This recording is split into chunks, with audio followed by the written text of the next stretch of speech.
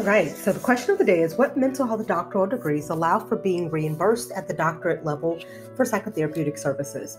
Brian, thank you for submitting this question. This question really requires us to think differently about the way that insurance companies issue contracts and how the degree and licensure status are not treated the same from a credentialing and a rate reimbursement perspective. So, this is the question that we're tackling today.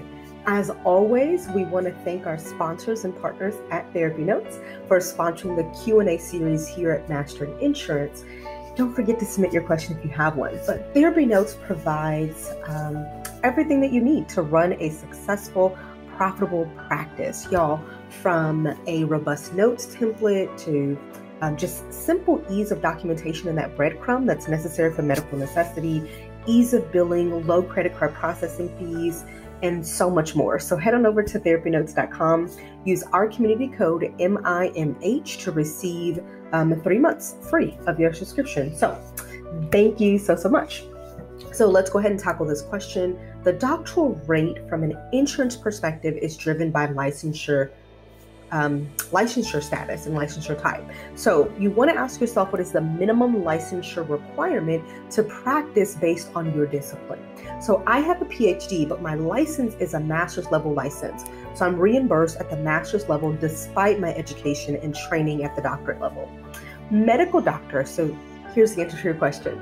Medical doctors, mostly psychiatrists, and PhD licensed psychologists are reimbursed at the doctoral level because this is commiserate with how their licenses are generally issued. Um, Brian, you didn't ask this question, but it's related.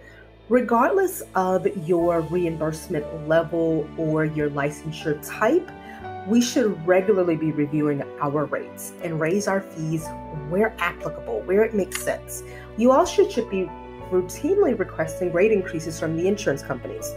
Um, if you're not sure how to get started or like, Ajita, what do I say? But I'm requesting a rate increase, head on over to masteringinsurance.com click on the blog tab on our website and scroll down just a little bit and um, there's a blog right there called how to negotiate a rate increase. There includes a video training a little a brief blog but also our rate increase template that hundreds of clinicians have successfully used to negotiate uh, rate increases.